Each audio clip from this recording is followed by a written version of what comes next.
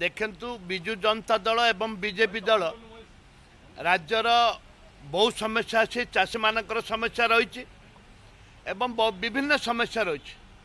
ଯେଉଁ ପର୍ଯ୍ୟନ୍ତ ଆମେ କହିଛୁ ଯେଉଁ ପର୍ଯ୍ୟନ୍ତ ଚାଷୀମାନଙ୍କର ଧାନ ଉଠିନି ସେ ପର୍ଯ୍ୟନ୍ତ କଂଗ୍ରେସ ଦଳ ନିଶ୍ଚିତ ଭାବରେ ବିଧାନସଭାରେ ବିରୋଧ କରିବ।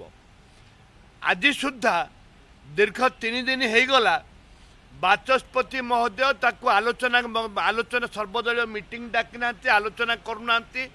ମାନ୍ୟବର ମନ୍ତ୍ରୀ ଯେଉଁ ମିଥ୍ୟା କଥା ଉପସ୍ଥାପନ କରିଥିଲେ ଯେଉଁ ପ୍ରତିଶ୍ରୁତି ଦେଇଥିଲେ ତାକୁ କାର୍ଯ୍ୟକାରୀ କରୁନାହାନ୍ତି। ତାକୁ ରାଜ୍ୟ ସରକାର ମାନିବାକୁ ପ୍ରସ୍ତୁତ ନୁହନ୍ତି। ରାଜ୍ୟ ସରକାର ଅନ୍ୟ ଏକ ଉପାୟ ବାହାର କରିଛନ୍ତି। ଶ୍ରୀଯୁକ୍ତ ବିଧାୟକ ଯେଉଁ ଆତ୍ମାହୁତି ଆତ୍ମାହୁତି ଦେବା ପ୍ରୟାସ କରିଥିଲେ ଇଏ ଏକ ଦୁର୍ଭାଗ୍ୟଜନକ କଥା। ଏ କଥା ମୁଁ ଆଗରୁ କହିଛି ଏବେ ବି କହୁଛି। କିନ୍ତୁ ଗୃହ ଚାଲିବା ଦରକାର ଚାଷୀମାନଙ୍କର ଧାନ ଉଠିବା ଦରକାର। ଏମାନେ ଜାଣି ଶୁଣିକିରି ଗୃହ ଚଲେଇ ଦେଉନାହାନ୍ତି। ଲକ୍ଷ ଲକ୍ଷ ଟଙ୍କା କୋଟି କୋଟି ଟଙ୍କା ଖର୍ଚ୍ଚ ହେଲାଣି ଗରିବ ଗରିବ ଚାଷୀ ମୂଲିଆଙ୍କ ଟିକସ। ଏମାନେ ଜାଣି ଶୁଣିକିରି ଗୃହକୁ ଚଲେଇ କଣ ଦେଉନାହାନ୍ତି ପାଇଁ କଣ ପାଇଁ ଜାଣି ଶୁଣି ଚଲଉଛ ଜା- ଯେହେତୁ ଧାନଟାକୁ ଧାନ ଯେଉଁ ଚାଷୀମାନଙ୍କ ଯେଉଁ ଧାନ ପଡ଼ିଛି ତାପରେ ଆମେ ଚାହୁଁଛୁ ମାନ୍ୟବର ମନ୍ତ୍ରୀ ସ୍ପିକର ଡାକନ୍ତୁ ମିଟିଂ। ଧାନ କେମିତି ଉଠିବ ତାର ବ୍ୟବସ୍ଥା କରନ୍ତୁ। ନହେଲେ ନହେଲେ ଆମେ ଆନ୍ଦୋଳନ କରିବାଟା କରିବୁ।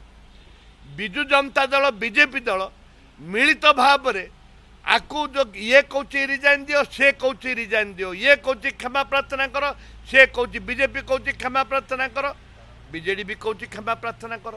ଇଏ ଗୋଟେ ଗରିବ ଲୋକଙ୍କ ଟ୍ୟାକ୍ସଟାକୁ ଇଏ ଗୋଟେ ପ୍ରହସନ ଭାବରେ ନେଇଛନ୍ତି। ବିଧାନସଭା ଚାଲିବାର ସୁଯୋଗ ଦେଉନାହାନ୍ତି। ଏଥିପାଇଁ ଆଜି ଆମେ ଉଲ୍ଲେଖ କରିଛୁ ମୁଁ।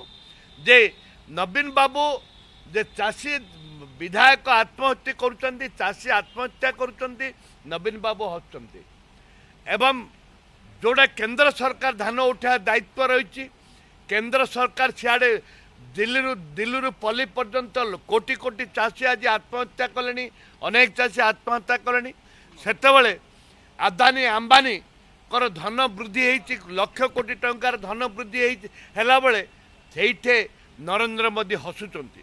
ଇଏ ସରକାର ଦୁଇଟି ଯାକ ସରକାର ଲୋକଙ୍କୁ ବେଇମାନି କରିଛନ୍ତି।